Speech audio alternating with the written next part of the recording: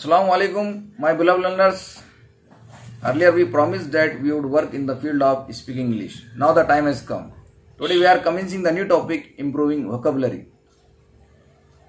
Before this, I want to listen you the special course that I have written for this. Listen carefully.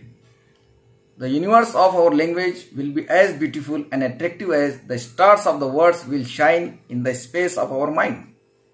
That means in Urdu, हमारे जहन की खला में जितने अल्फाज के तारे जगमगाएँगे उतनी खूबसूरत और पुरकशिश हमारी ज़ुबान की कायनात होगी I hope that you would like it that means Without vocabulary, we can't influence our language or be able to read and understand someone excellent language. So vocabulary plays a pivotal role in English language. We know that a person may be judged by others based on his vocabulary. It makes our personality impressive. It improves the fluency and comprehension skill in English language. If you have more words in your basket, that means you already won the half of the battle in group discussion. Inshallah, we will improve our vocabulary day by day.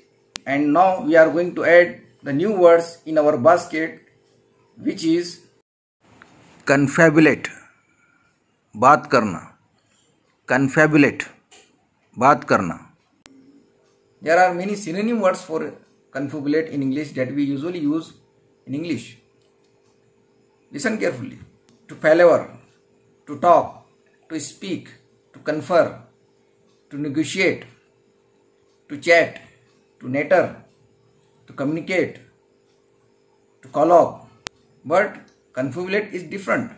Now we are going to make our own sentences. Listen carefully. They were confabulating with their friends. वे उनके दोस्तों से बात कर रहे थे I don't want to confabulate on this issue मैं इस मौजू पर बातचीत नहीं करना चाहता हूँ। इस तरह आप अपने जुमलों में कन्फ्यूबलेट को इस्तेमाल कर सकते हैं। It's noun is confabulation now we will use it in a sentence. We should solve our problem by confabulation. हमने हमारा मसला बातचीत के ज़रिए हल करना चाहिए। हिज कन्फिबुलेशन इम्प्रेसेस मी उसकी गुफ्तगु मुझे मुतासर करती है। इस तरह आप भी कन्फिबुलेशन का इस्तेमाल करके दीगर जुमले बना सकते हैं। चलिए हम आपको एक जोक सुनाते हैं, जिसमें कन्फेबलेट का इस्तेमाल बड़े अच्छे अंदाज में किया गया है। आपकी भी समझ में आएगा कि किस तरह इस वर्ड को इस्तेमाल करना चाहिए।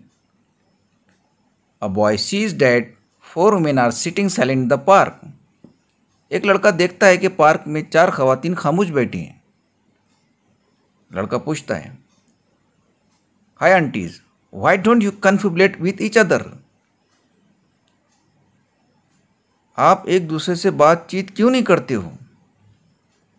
वन ऑफ़ वुमेन रिप्लाइज एक खातून जवाब देती है because we all four are present today none of the four of us are absent then whom should be confabulate about उसमें से एक खातून जवाब देती है क्योंकि आज हम चारों भी मौजूद हैं और हम में से कोई भी अपसेंट नहीं है। फिर हमने किसके बारे में बात करना चाहिए?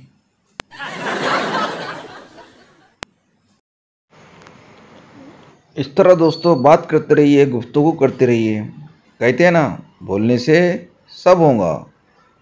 Confabulating will do everything thanks to subscribe like and comment on video